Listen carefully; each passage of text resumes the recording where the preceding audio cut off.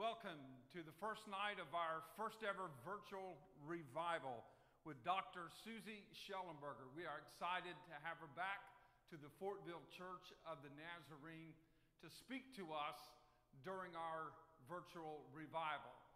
Susie is from Oklahoma. She is a Nazarene evangelist and has been involved in ministry for many, many years. And we have been privileged to have her come and speak to us um, several times here at Fortville, and we are anxious to hear from her again. The times of our services will be tomorrow evening at 7 p.m., and that will be an online service. And then this Sunday, we will have live stream plus in person services at 9 a.m., 11 a.m., and 6 p.m. Let me talk to you about one of the important parts of revival is certainly prayer, and we want you to be praying for these services. And uh, we're praying and trusting that uh, they will reach many, many people uh, by way of live stream and also in person. But another important area is uh, the financial support of revival. And many of you give to our Renew 52 revival campaign through the year. But if you would like to support this revival financially, you can do that online. And when you go to our website, fortvillenazarene.org, you will find a tab there that says Renew 52 Revival. And there you can click on and uh, give financially. And we just want to say thank you for your support financially. Well, I'm excited to get started. So Let's ask God to bless us this first night of this virtual revival. So join me as we pray together. Father, I ask that you would be with this service. I pray that even though the presentation may be different, maybe the method of revival is different, but the message is the same. And we believe in the gospel of Jesus Christ and how it can change lives. So, Lord, I pray that you would be with the ministry of Dr. Susie Shellenberger. And I pray that you would be with the music ministry of, of our special music guest. And I pray, God, that you would help us just to be open and obedient to your word, to your will, and to your way. I pray in Jesus' name, amen. Well, our uh, worship leader here at Fortville Nazarene, Justin Wells, will introduce our special music guest for this evening. God bless you, and let's re- enjoy revival together. Hey folks, Justin Wells here. So glad that you've chosen to join us this evening for our fall revival service. And uh, just wanted to take a moment to introduce you to a family that will be leading us some this week in our revival. Uh, this is a group that I met when I was on the road singing full time with the Lester family. They're from West Tennessee, and uh, it's a multi generational group. And the group that you'll be seeing here the nights that they'll be with us are a mom and a dad and their two grown children. And they are multifaceted, multi talented, play instruments and sing, and they are out of this world and they have a tremendous heart for the Lord. And we're glad to have with us Endless Highway. Hello, our friends at the Fortville Church of the Nazarene. It's good to be with you tonight. Shadrach, Meshach, and Abednego were thrown into the furnace fire.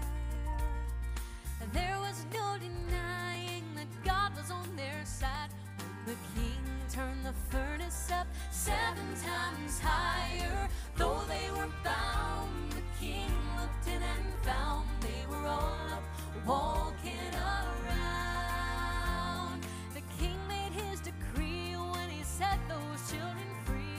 No mightier God have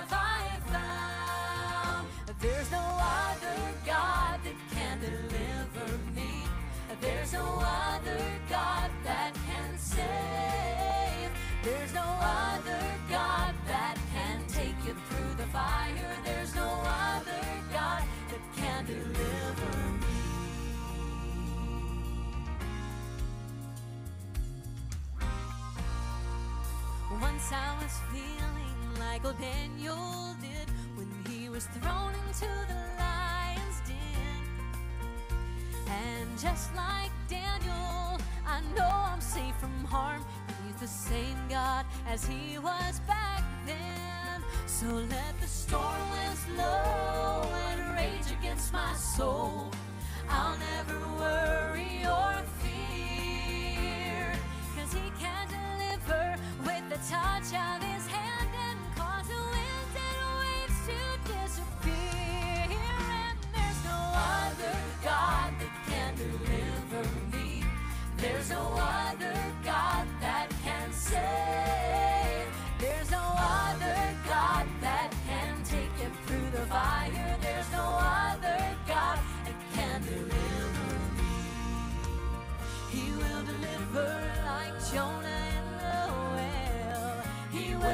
deliver like Paul and Silas in the jail. He will deliver the children across the Red Sea. He will deliver, he will deliver me. There's no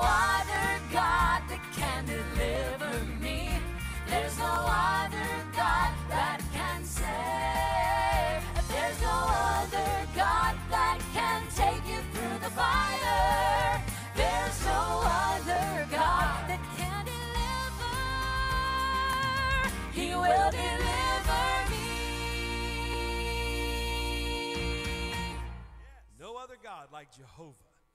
No God today. I tell you, it's so good for Endless Highway to be a part of your revival services this week. Let me quickly introduce our family to you because I'm sure many of you have never seen us before. We are Endless Highway. My name is Jason Griggs. My wife of 26 years, right here, Vanessa Griggs. And we have two children that you just saw singing with us. On the end is Jay Vincent Griggs, he's 24. And our baby girl in the middle is Miss Allison Riley, and she just turned 20 years old. And uh, we're glad to be a part of this service.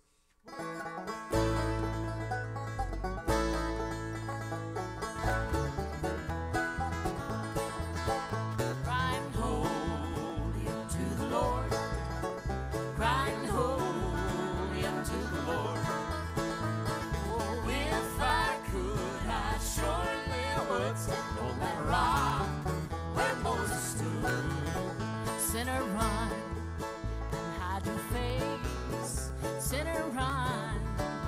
hide your face. Sinners run to the rocks and hide your face, but the rocks ain't got no hiding place. Crying holy unto the Lord. Crying holy unto the Lord. Oh, if I could, I surely would stand on that rock where Moses stood.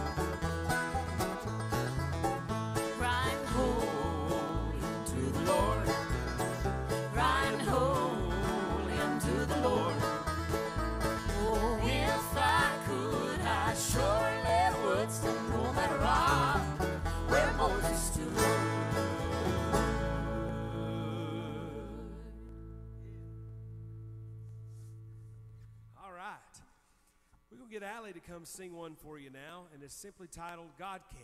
And I love this song, just the title of it alone, because it reminds me that God is a God of the impossible. He is a God that can make a way where there seems to be no way. And he, he is bigger than any circumstance or problem we'll ever face in life. He's bigger than cancer. He's bigger than Alzheimer's and dementia. He's bigger than your family problems, bigger than your church problems, bigger than your work problems. He's even bigger than the coronavirus. And uh, so you just be encouraged tonight, friends, that God can.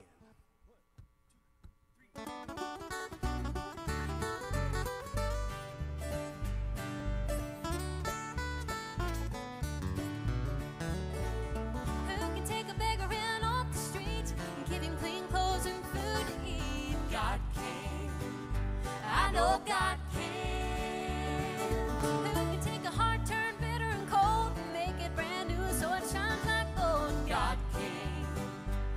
know God can.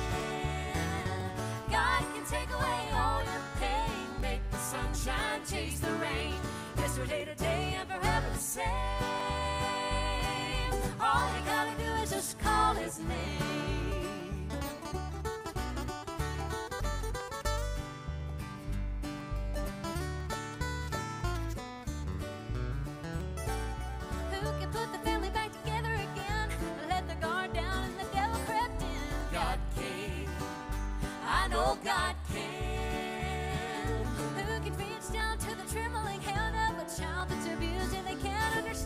God can.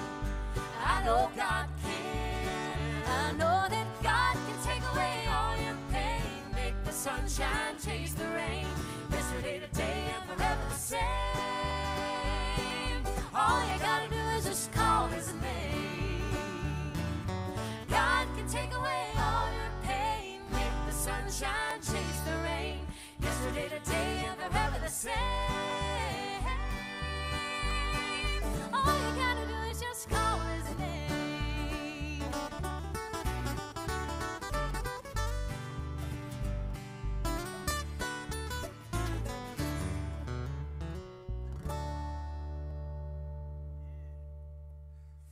world will tell us um, that there's all of these different roads to heaven. Let me just say that the world we're living in is a sin sick world, and it is getting si- uh, sicker all the time. And, friends at Fortville, just let me tell you there is a God, and He is still on the throne, and He is still in control of everything that's going on in this world.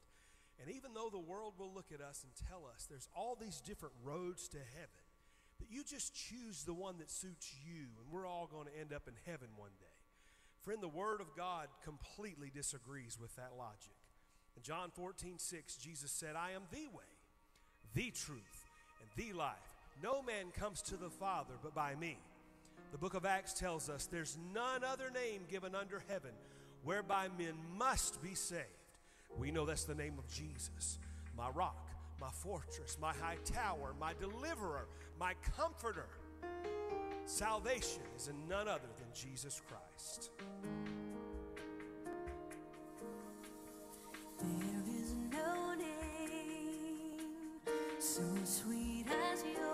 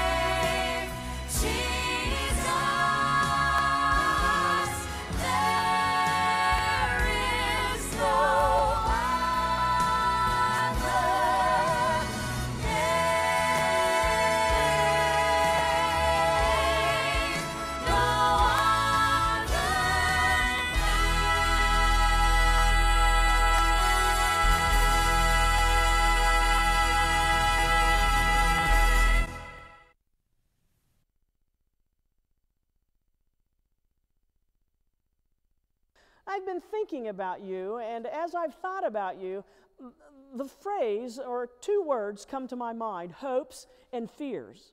We're certainly living in a season of hopes and fears, aren't we?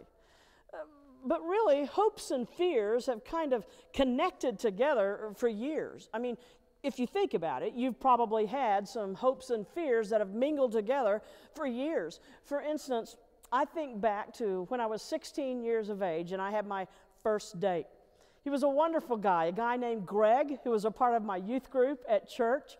And he asked me out on a, we were going out on a Friday night, and uh, he decided that we would go to Pizza Hut and have a pizza, and then we would go to the local amusement parks. Hopes and fears began intertwining within, within each other. Hopes, this could be the most fun night of my entire summer. Fears, we're going to ride the roller coaster after eating pizza. What if I see the pizza for the second time? Hopes and fears uh, interconnecting with each other. Or, or maybe you can remember moving into the college dorm. Hopes that these next four years would be amazing, but the fear of what if I don't make friends quickly? What if my roommate and I don't get along? Or maybe you can think back to purchasing your first house. How wonderful that I have my own home. Will I be able to make the mortgage pay- payment? Hopes and fears. Often they kind of uh, cross boundaries and, and mix together, don't they? Well, I want you to know that God is in the business of bringing us hope when we're living in fear. Now, the first time you ever heard this phrase, hopes and fears put together, was probably a time you don't even remember it. Let's flash back to this song. Go ahead and sing it with me, okay?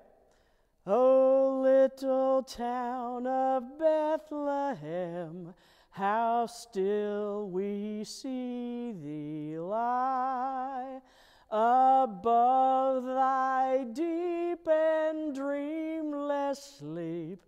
The silent stars go by, yet in thy dark streets shineth the everlasting light. Here it comes, look for it.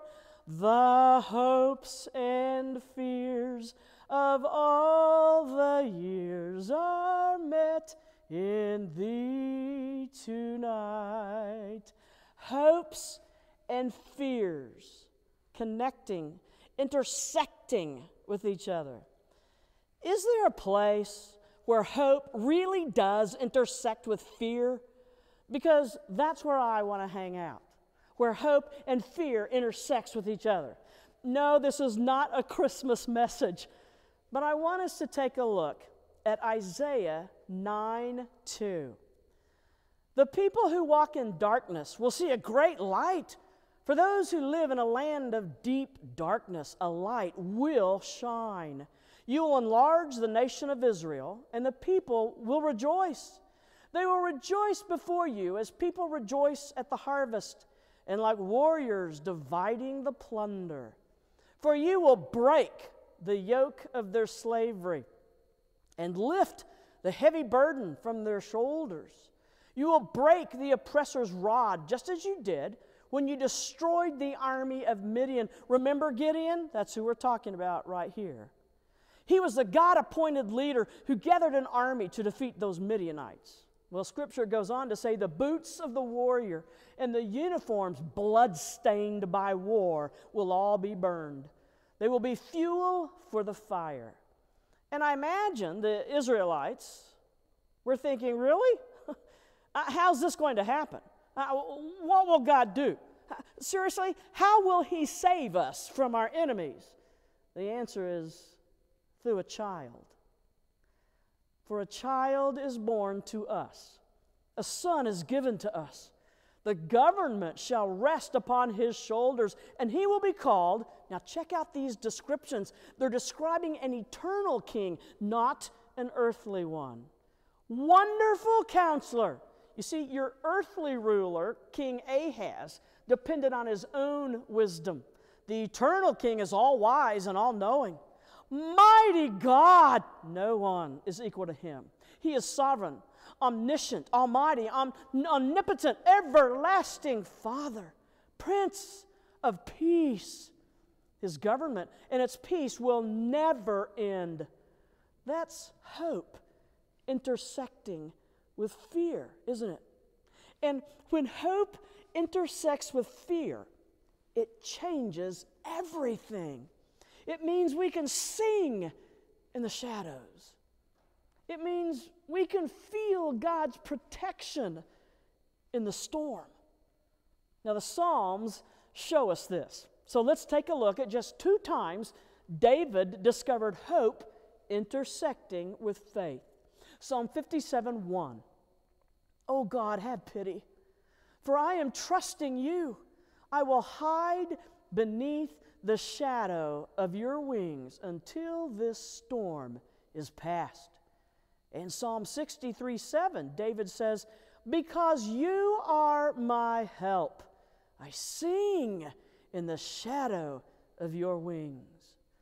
Now, in these two Psalms, David is doing two different things in the shadows. He's hiding in the shadow of God, and he's singing in the shadow of God. First, he hides. Where is he hiding? In the shadow of God's wings. We tend to think of shadows as frightening, don't we? Gloomy, danger. There's always something evil lurking within the shadows, at least when we see shadows on the big screen. But when it's the shadow of one who loves us, it's comforting. David says, I will hide beneath the shadow of your wings until this storm is past. An article in National Geographic several years ago printed this story. After a forest fire in Yellowstone National Park in 1989, forest rangers began their trek up a mountain to assess the inferno's damage. And one ranger found a bird, literally petrified in ashes, perched statuesquely on the ground at the base of a tree. Somewhat sickened by the eerie sight, he knocked over the bird with a stick. And when he struck it, three tiny chicks scurried from under their dead mother's wings. The loving mother, keenly aware of impending disaster, had carried her offspring to the base of the tree and had gathered them under her wings, instinctively knowing that the toxic smoke would rise. She could have flown to safety, but she refused to abandon her babies. And when the blaze had arrived and the heat had scorched her small body, the mother remained steadfast. Because she had been willing to die, those under the cover of her wings would live.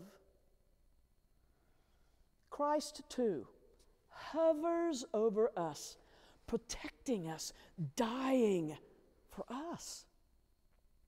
In fact, Jesus compared himself to a hen eager for the safety of her brood. Let's look at it in Matthew 23 37. How often I have longed to gather your children together as a hen gathers her chicks under her wings. Jesus spreads his wings over our lives. Oftentimes we can't see them. We tend to be oblivious to his protection. But like a bird spreads its wings, so Christ spreads his love and his protection over us. He intersects hope into our fear. He brings safety through the shadow of his wings. Eagles are admired around the world as a living symbol of power. And in Exodus and Deuteronomy, the eagle represents God and his loving care toward Israel. In both descriptions, we read about God bringing his people out of Egypt and into Canaan as if on the wings of an eagle. Let's take a look. You have seen what I did to the Egyptians and how I brought you to myself as though on eagle's wings. He spreads his wings over them, even as an eagle overspreads her young. She carries them upon her wings, as does the Lord his people. The eagle is a powerful bird. It has amazing eyesight, five times better than a human. Now, eagles use both monocular and binocular vision. Uh, that means they can use their eyes independently or together, depending on what they're looking at. I'm comforted by the fact that God also has amazing eyesight. There's nowhere I can go that He can't find me. Now, an eagle eye has two focal points, one of which looks forward and the other to the side at about a 45 degree angle. This allows eagles to see straight ahead and to the side at the same time. An eagle can see something the size of a rabbit at more than three miles away. Another, uh, an eagle can see another eagle soaring 50 miles away. They can also see at night, and they can also see UV light. A golden eagle can fly 200 miles an hour, and it has 7,200 feathers. Can, can you imagine the softness of 7,200 feathers? I mean, we buy our down comforters and our down filled pillows, but the coziness and security of 7,200 feathers spread over you, wrapped around you. God has more than 7,200 ways of protecting you and loving you and keeping you. I hope this comforts you. The golden eagle wingspan is seven and a half feet. So to sit under this wingspan would be ultimate protection.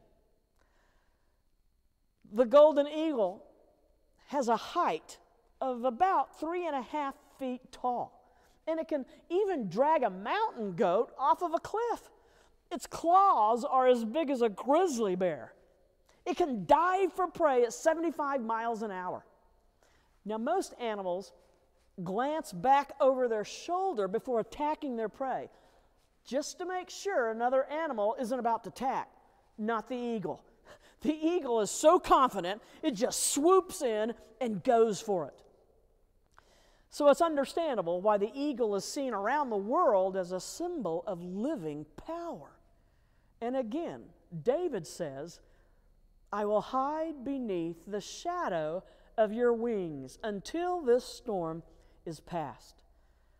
Some of you are facing a storm right now with your family, your finances, an illness. Well, God invites you to find comfort by hiding under his wings. You need to see hope intersecting with fear. David hid beneath the shadow of God's protective wings, but he also did something else. He sang. Let's go back to Scripture. Because you are my help, I sing in the shadow of your wings. Now, I'm still in the learning stages of singing in the shadows. I haven't mastered it yet, but God is teaching me how to sing in the shadows. This COVID 19 experience is certainly a great example. As a full time evangelist, um, it's kind of a faith walk for me. I go out and speak, and, and churches pay me, and then that money is deposited into Susie Shellenberger Ministries, and then my accountant gives me a little salary out of that money. Well, if I'm not going out and speaking, money is not coming in. But God is my provider, and He has never let me down. And through this whole COVID 19 virus, it's been a bit frightening at times, but God just continues to remind me Susie, you can hide beneath the shadow of my wings because I will protect you and I will provide for you. And even in the shadow of not knowing, I want to teach you to sing underneath my wings. Wow, what a lesson. What a God. What a provider! How faithful he is! Great is thy faithfulness. So when I feel no hope, or when I'm anxious and when I'm doubtful or scared, maybe as I travel, flights are canceled, or I, am left in an airport, or maybe luggage is, is lost. It's a faith walk, but I'm learning to sing in the shadow of his wings. Maybe you're in a season of shadows right now. You feel the storm, and it's raging, and it doesn't seem like it's going to let up anytime soon. Take comfort in the fact, not the hope, but the fact that you are hiding under his strong, spacious wings. Get cozy, feel his warmth. And while you're in the shadows, let him teach you to sing. In the midst of darkness, he will put a song in your heart. The song he gives you can cause hope to intersect with fear. One more thing about eagles they build their nests in the wilderness so they can raise up the babies away from mainstream society. This allows the baby eagles to grow up without any type of harm coming to them. No distractions. Well, in the same way, God will sometimes build us in a wilderness type setting. For example, Moses was in the backside of a desert for 40 years before God called him out to, to uh, complete the greatest deliverance mission of all time.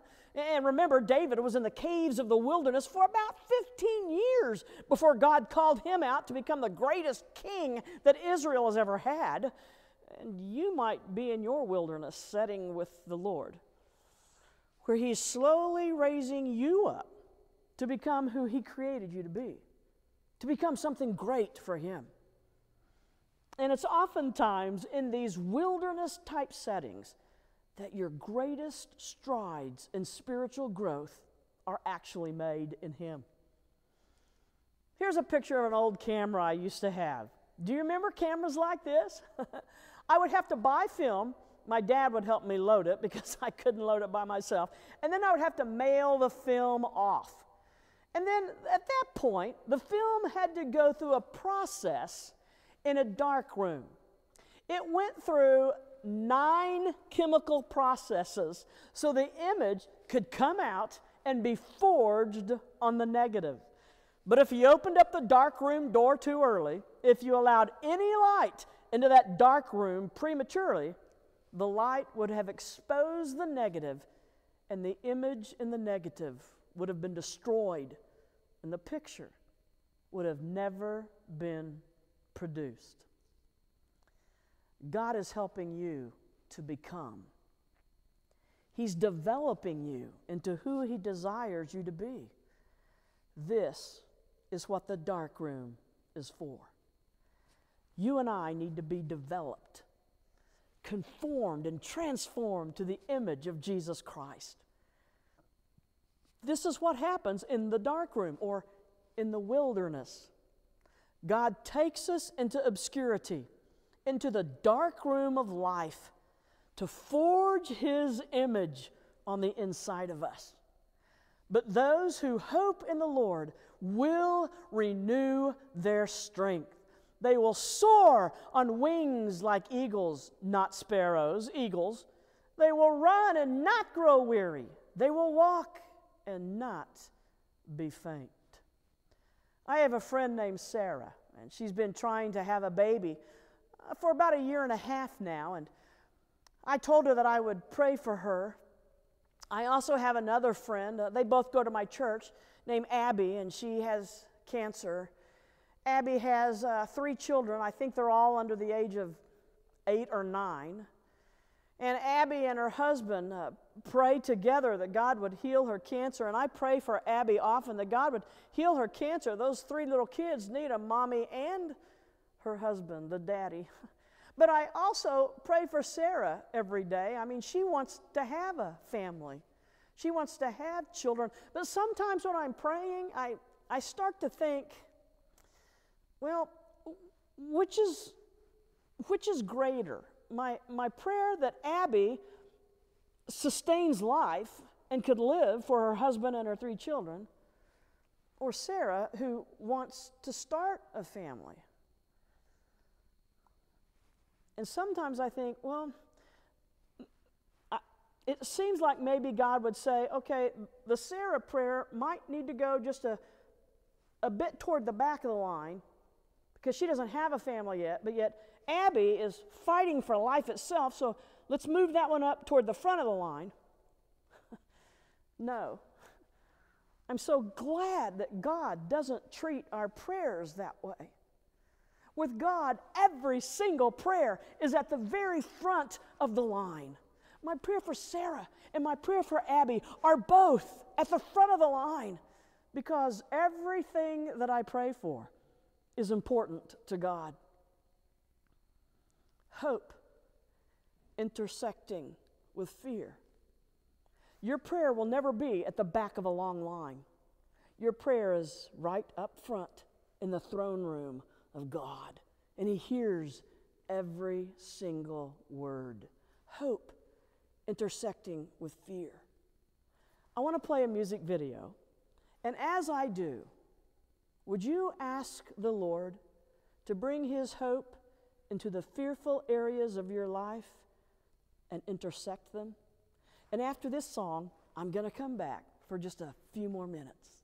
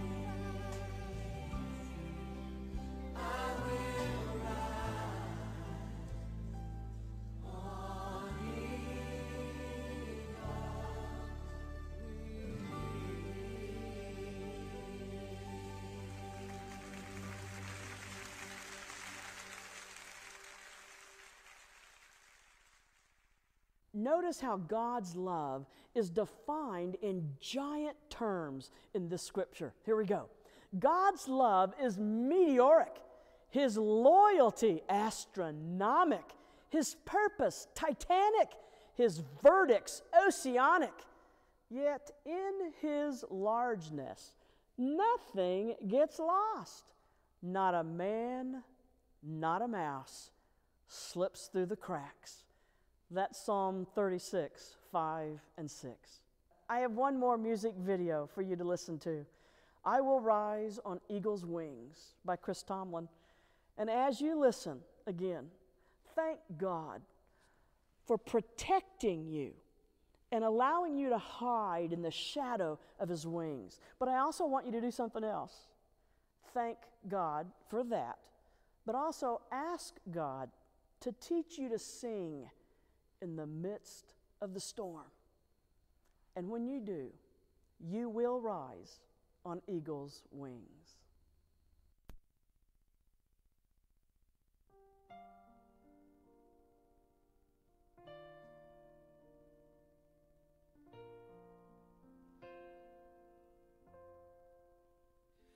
There's a peace I've come to know.